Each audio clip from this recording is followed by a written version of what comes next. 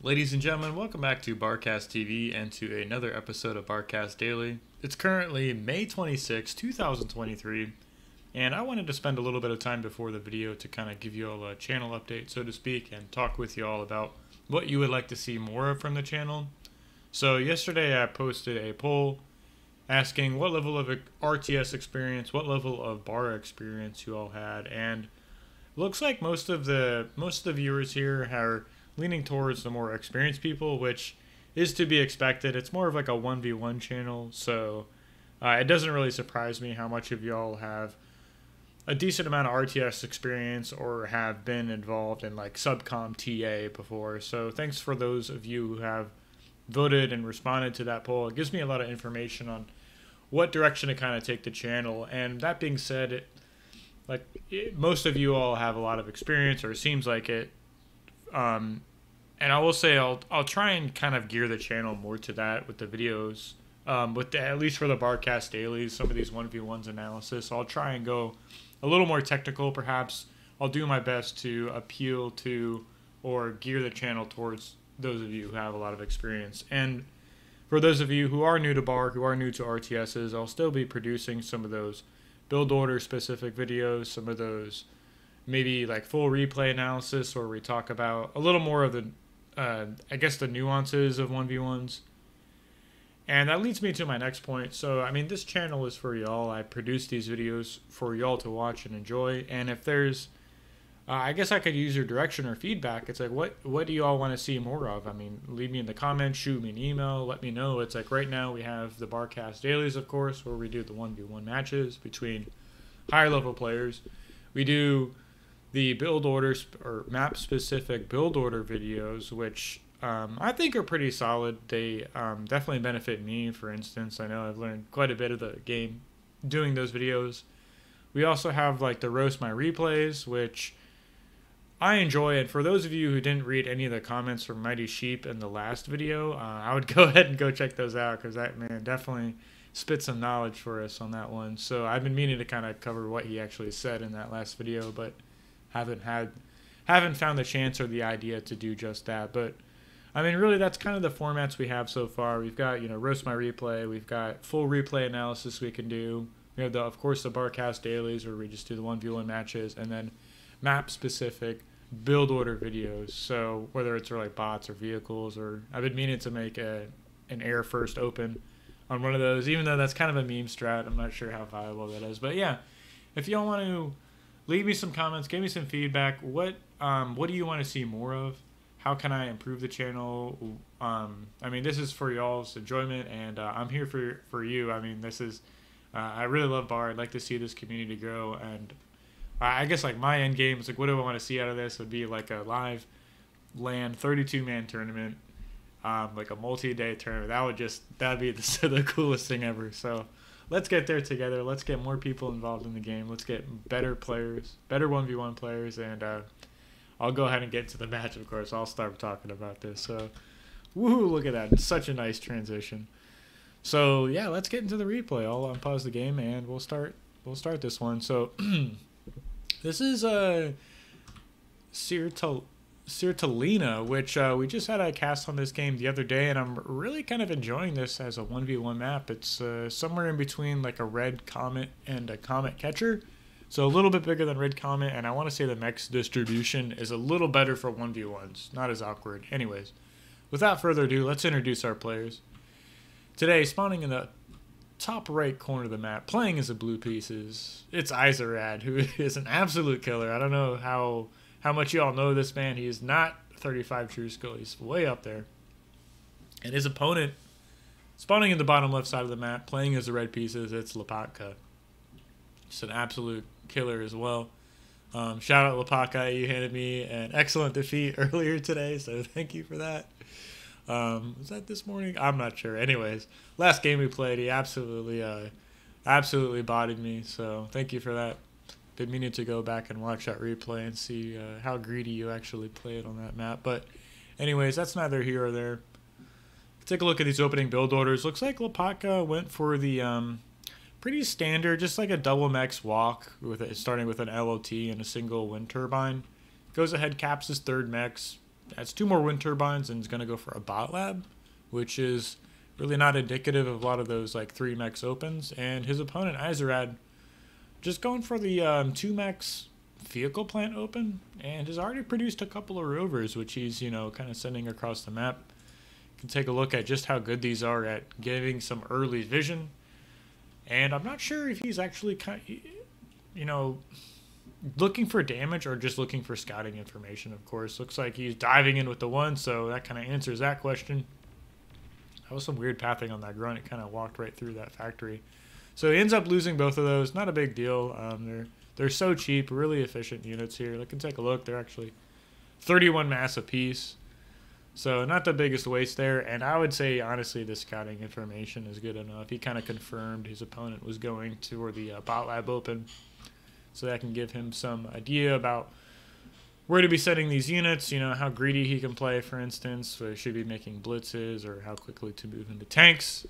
So definitely a good definitely good use of those rover, and he actually produced another two. So it looks like Izirayd stepping outside of the main base with his commander. He's got two construction vehicles visiting his factory, and has gone into this 13 to one construction vehicle on repeat. Uh, two two rovers as well. So that's an interesting um, interesting unit comp- composition coming out of the factory so far. Meanwhile, Lopatka, Scott repeat on. Looks like he's just got grunts all day going for now. He's got this nice little radar positioning. Um, that's excellent, excellent spot for a radar here on a uh, Sertalina.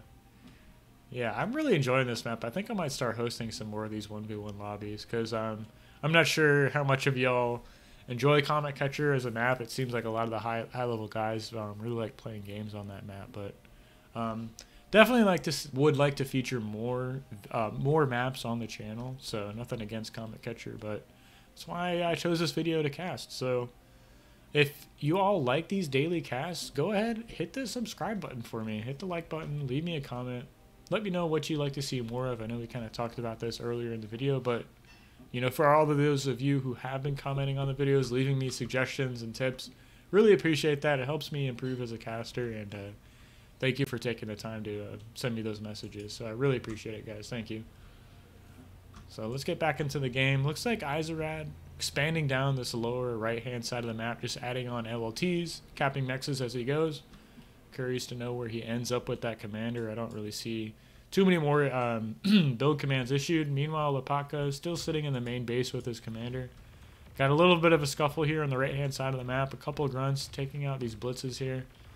And that was a great unit movement. Great catch there. We see another blitz moving on the left-hand side of the map. That's going to get caught out by these two grunts here. This LLT finishes just in time to finish that construction bot. And Lopatka kind of deflects this little bit of early game harassment from his opponent. So great job. Great control there. You could see actually where he was positioning his grunts relative to this radar. I think he had him about in like these two areas here. So great job kind of using uh, using a good unit position in conjunction with your radar coverage to kind of defend yourself from run bys. Ooh, excuse me. And yeah, it just moves back into the middle map of these grunts, kind of splitting them up left and right side, looking for run bys here. I don't think Lopatka quite knows the positioning of these blitzes in the center of the map. It's kind of running right past them. Not a big deal. Can see these grunts. Yeah, they can actually traverse across those entire mountain range there, so that's good to know. I don't not sure if they can actually hit that little little area right here, cross across that, but we'll have to keep an eye on eye out for that in future unit movements. Meanwhile, the Lopatka trying to sneak through, thinks better of it, ends up running away with these grunts, and we can take a look at these actual unit statistics here. So these blitzes have 99 speed, um, what is the acceleration on these actually? 61 acceleration. Meanwhile, the grunts have 84 speed, and I believe they have just about the same acceleration. So, excuse me, they have 390 acceleration. So, if you can actually kind of get next to these grunts with the blitzes, of course, you can kind of close the gap or get an engagement but really, the name of the game with these grunts is to actually outrange and trade. We can see they can outrange these blitzes, and that's how you trade efficiently against these units. I've been really struggling myself in this matchup. It's as the bot lab player, it can be really tough um, staying on top of these units and getting the most efficient trades. That was a nice little choking pattern there, and um, yeah, this is kind of perfect. You got a nice long line there, kind of surrounding these blitzes as they, as they move onto your side of the map. You're staying in front of them, kind of preventing them from moving past their units, getting into your back lines, getting to your economy and LLTs. Um, LLTs aren't terribly, terribly effective against these blitzes, so you really got to start trading with them as far as far into the map as possible. So see a couple more rover scouts moving out here, trying to get some more information on the battlefield. You can see Lopatka kind of moving his grunts away from these blitzes. Finally, kind of turns around, catches his mistake. I think these LLTs are in danger. Same for the construction bot. Wondering if Izirayd is going to end up uh, trading these units here. So he ends up taking out the LLT. Radar goes down, and this construction bot is going to go down. So that's a nice little catch there. I think that's a pretty good trade for these units. I mean, they got the damage they needed, uh, at least catching that construction bot and denying the expansion. And is he going to get out with these units for free? So, Izirayd not really pressing his uh, advantage here. He turns around. He wants to trade with these units. Ends up losing all these, um, all those for free. And can see, well, meanwhile, that's going to trigger, that's to trigger Lopatka to produce his Grave Robber here. So I'm sure he's going to be sending that up to the top of the map shortly. He's going to try resing that construction body lost.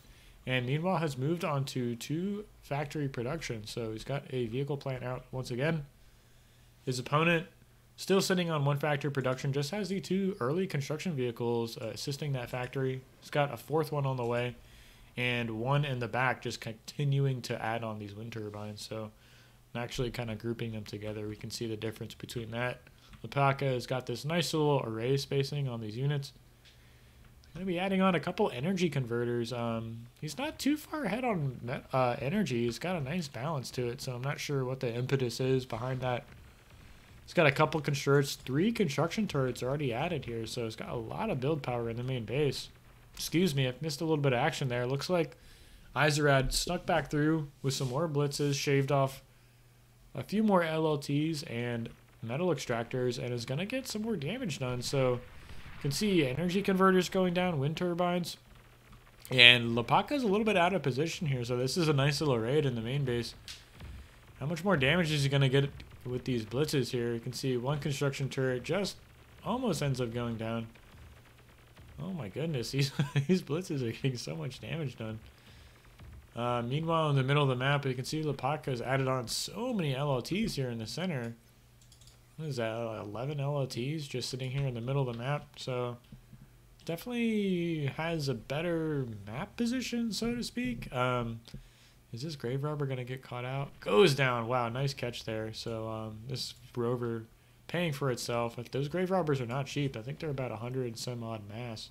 110 mass apiece, so that was a great catch, kind of denying that Grave Robber from moving up to this top side of the board, you know, resing this resing this construction bot and all this free reclaim here. That's that's not a trivial amount of reclaim here in the center. You can take a look. This second grave robber has got some res commands issued. Yeah, that's about a thousand mass sitting there in the uh, top left-hand corner of the map. Meanwhile, Izirayd not laying off this harassment here. Tries to sneak through a, a, another blitz here. Gets, ends up getting caught out by these uh, incisors of his opponent. And this game's kind of slowed down a little bit, so let's take a look where these players are at. Look at the metal produced so far, almost dead even, so just like a 200 mass, 150 mass deficit between these two players, so that's really too close to give an advantage. Um, Izirayd scooping up this mass in the top left, or excuse me, Lopatka is scooping up this mass in the top left-hand corner. Izirayd's pushing across the map again. I really like these rovers kind of mixed in with this unit composition. You can kind of get an idea for where where your opponent's units are at, where can you strike, where can you get extra damage done, and is this Grave Robber going to go down? We can take a look at back that. Meanwhile, there's a little bit of engagement here. We have the blitzes versus incisors and a couple grunts in the mix, and I'd say that was a little bit of a blunder there by Izirayd. He ends up losing a lot of those units. Not the most efficient trade in the world, but pulls back with a lot of his units. He's going to regroup for now. And looks like Izirayd's produced a bot lab here in the bottom middle part of the map and has produced several maces here. So that's going to help clear out these uh, LLT installations of his opponent. Lopatka's gone ahead and made another forward factory. He ended up reclaiming that bot lab in his main base and He's got another uh, uh, another blitz here, kind of snuck into the back line here, is taking out a lot of wind turbines. Looks like that construction turret got off a pretty cheeky reclaim there. So, for those of you who don't know, yeah, you can definitely reclaim units and kill them. So, keep an eye out for those kind of uh, opportunities. And looks like we got a little bit of an engagement here. So, Lopatka stepping forward with these units. He wants to shoo away these maces and yeah, it's going to force an engagement. I'm not sure how well this is going to work out for him. Izirayd kiting back with these maces. He's shaving off a lot of units here. They're pretty tanky. These things can uh, can stay in a fight for a long time. So it looks like Lopatka is kind of pulling back to the uh, pulling back to his defenses. He needs to get more units more units together before he engages, but Looks like he's produced some thugs of his own and is kind of threatening this main base, but there's a lot of blitzes and medium tanks, so it's a nice little Tech 1 army here. 11 blitzes, 4 stouts, 4 rovers. Can easily deal with these thugs here, but Lopatka is going to be moving forward with his uh, vehicles as well, so we can take a look at this engagement here. It's like these thugs are kiting back. Blitzes flanking on the left side. I'm wondering if they're going to be getting some of that uh, flanking flanking bonus damage here. A lot of damage output here. These stouts can really, um, really hold the line here. They're definitely hard to clean up at this point in the mid game here. Looks like uh, Lopatka got the better end of that trade there. Almost all these units end up going down. We have four tanks left over for Izirayd here. And these are some really heavily damaged units though, so I'm not sure how much longer they're going to be in this battle for now. It's like finally getting kind of cleaned up here, so close to your opponent's production. It can be hard to uh, kind of continue a fight. I'd like to see another Grave Robber out from Izirayd. He's got a lot of mass sitting right in front of his main base. Meanwhile, these thugs, or excuse me, maces of our blue player, blue player kind of continuing to put pressure on the central part of the map. Really good job, Lopatka, kind of holding this down. You can launch attacks from either, really either position here. You can kind of move around. Great position on the map to hold for yourself. And it looks like, yeah, these Maces versus Thugs. Medium bots versus medium bots. Izirayd stepping forward, getting off a couple D guns there. So that was a great trade. Shaved off about half of that army there. So really good job using that commander's um, pretty insane DPS. Even though they're paper thin, really, at this point in the game. Super vulnerable units. These thugs actually outrange commanders. Not sure if they have the same movement speed, so what is that 45 movement speed to the commanders 38 yeah so thugs are faster than commanders and outrange them so you really don't want to get caught out in the open field against these units. Looks like Izirayd has produced a grave robber. He's going to be scooting it in the back lines here and looking to um, kind of gain control of this reclaim field. Looks like he's got a res command issued for all these units here and meanwhile Izirayd pressing forward with a lot of medium tanks. He's pushing his opponent off of that uh, off of that production point while Lopatka kind of stepped away from it, chasing down this T1 army. So this game's getting a little scrappy for now. Both commanders are kind of caught out in the open, a little vulnerable. Lopatka's got a lot of LLTs to kind of stand next to and defend himself. But I want to say Lopatka's kind of throwing these armies away. I mean, he's getting he's getting some economy. He's shaving off some LLTs, but this is leaving a lot of wrecks for his opponent.